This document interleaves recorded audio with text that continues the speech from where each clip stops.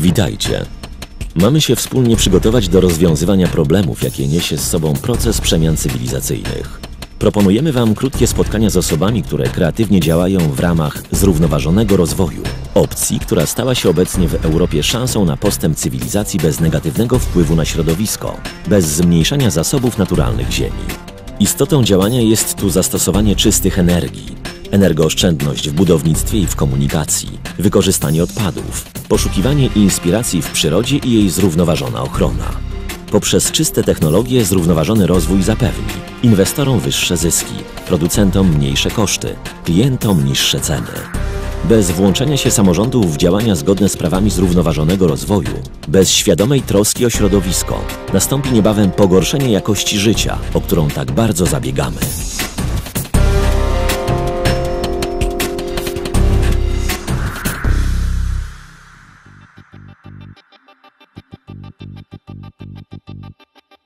Studenci Ekomaraton.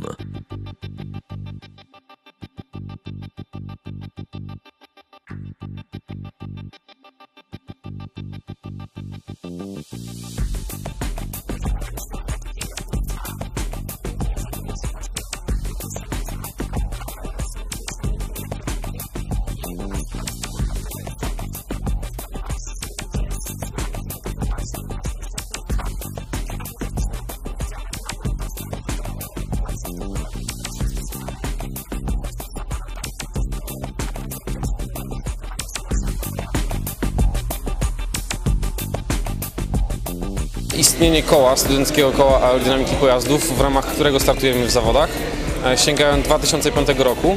E, Nasz opiekun, e, dr Janusz Piechna, nawiązał współpracę z Uniwersytetem we Francji, który w ramach tej współpracy i w ramach takiego gestu podziękowania dla, dla doktora za jego pracę przekazał nam swój stary pojazd, który zapoczątkował nasze starty w Shell Ekomaratonie. Główną myślą tego, aby koło powstało, jest to, y, aby studenci mieli również szansę rozwoju, czyli mogli dokładniej i od takiej strony rzeczywiście wykonawczej zobaczyć, jak to wszystko trzeba robić, jak już to działa, jak jest wykonane, y, po co tak naprawdę się coś robi. I czy rzeczywiście to, co my sobie tam projektujemy, co zakładamy, że to będzie wyglądać, czy to rzeczywiście potem działa? Tak, to jest praktyka, no i oczywiście też y, szukanie jakichś ciekawych rozwiązań, które nie są takie typowe stosowane w przemyśle. Natomiast przede wszystkim jest to, tak jak powiedziałem, właśnie praktyka i możliwość zdobywania takiej wiedzy właśnie też praktycznej i porównania teorii z praktyką. Samochodami zająłem się dlatego, żeby zobaczyć e, właśnie nowe, nowe technologie, kompozyty, to przede wszystkim e, samochodami, bo miałem, e, mam zacięcie takie od e, dzięki tacie, który trochę mi też pokazał e, o samochodach kilka ciekawostek, no i ogólnie wolę samochody niż, niż samoloty, to przede wszystkim. To było tak, że od małego jakoś lubiłem rozkręcać różne urządzenia mechaniczne. E, Myślę, że klocki e, Lego też się do tego przyczyniły. E, I mój dziadek, który już wychowuje drugie pokolenie inżynierów, ponieważ jego syn jest nawet wykładowcą na jednej z politechnik.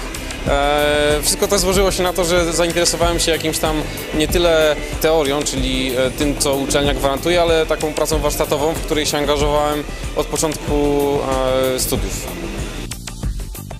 Sama idea Szeleko Maratonu powstała jeszcze przed wojną w 1939 roku. Po wojnie mieliśmy już 26 edycji od 1983 roku. Po raz pierwszy zespoły z Polski wystąpiły w 2006 roku. Były to dwa zespoły z Politechniki Warszawskiej. W 2010 roku, w tym mm, roku, właśnie w tej edycji, mieliśmy już pięć zespołów reprezentujących e, Politechnikę Warszawską, Politechnikę Lubelską i Politechnikę Gdańską. Nasza firma jest przede wszystkim żywotnie zainteresowana e, rozwojem technologii, która pozwala na wydajne wykorzystywanie energetycznie takich rozwiązań, które później będą służyły e, przede wszystkim w transporcie i w różnego rodzaju biznesach. Znajdujemy się w warsztacie, y, w którym może przebywać studenckie koło aerodynamiki pojazdów. W tym momencie widać grupę kolegów, którzy zajmują się pojazdem Kropelka. Jest to pojazd przygotowywany na Shell Eco Marathon. Kropelka jest y, hmm, powiedzmy takim ekopojazdem. E, głównym celem e, tworzenia tego pojazdu było to, aby pojazd ten przejechał jak największy dystans, zużywając przy tym jak najmniej e, paliwa. Najlepszy wynik to 607 km na litrze. Jest to wynik, jaki pojazd ten zrobił w zeszłym roku. Dlaczego zająłem się kropelką? Przede wszystkim chodziło e, o to, żeby zdobyć w praktyce e, wiedzy, trochę wiedzy inżynierskiej. E, mamy oczywiście bardzo dużo uczenia, oferuje nam bardzo dużo wykładów, ćwiczeń, laboratoriów, natomiast działalność w szkole pozwala, że tak powiem, szerzej to rozwinąć i zdobyć przede wszystkim dużo wiedzy praktycznej. Możemy tutaj poznać proces projektowania od samego początku, od założeń, poprzez model 3D na komputerach, poprzez jakieś analizy, optymalizacje, symulacje w różnych programach, po wykonanie, e, technologię wykonania, no i potem sprawdzenie oczywiście, czy to wszystko działa tak, jak powinno działać. Widzimy tutaj pojazd o nazwie Packard. To pojazd, którym startowaliśmy w zawodach Shelco Marathon w 2006 roku. W tej chwili jest przerobiony na napęd elektryczny. Historia tego pojazdu zaczęła się, kiedy Uniwersytet e, z Valenciennes z Francji darował nam ramę. Zbudowaliśmy nową skorupę, ponieważ chcieliśmy wnieść coś od siebie do, do, do pojazdu. E, w tej chwili pojazd jest przerobiony na napęd elektryczny, ponieważ e, na różnych pokazach albo dniach otwartych Politechniki służy nam jako pojazd taki reklamowy, gdzie każdy może sobie wsiąść i przejechać się i zobaczyć jak to jest kierować taki super ekologiczny pojazd. Kiedy pierwszy raz startowaliśmy Packarem w 2006 roku, kiedy jeszcze był napędzany silnikiem spalinowym, osiągnęliśmy wynik e, niecałych 490 km na jednym litrze. Przeszliśmy na kropelkę, ponieważ chcieliśmy wybudować swój własny pojazd i uznaliśmy, że e, jeśli chodzi o aerodynamikę, w tym pojeździe e, niewiele da się zrobić, w związku z tym zaprojektowaliśmy swoje własne nadwozie, które jest dużo bardziej aerodynamiczne. Jest to pojazd Mikrus, który również przygotowywany jest na te same zawody, które y, bierze udział Kropelka. Jest to samochód biorący udział w kategorii Urban Car, czyli pojazdy zbliżone do pojazdów poruszających się na co dzień na, właśnie na ulicach y, miasta. Jest to pojazd, który ma mieć wszystkie elementy, które posiada zwykły samochód. Mikrus startował w zeszłym roku pierwszy raz.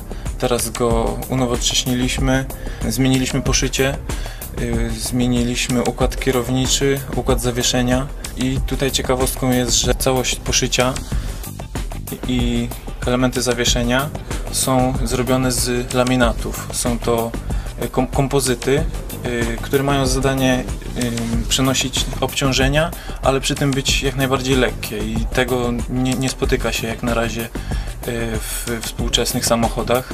Gdybyśmy co najmniej przejechać 500 y, km na jednym litrze.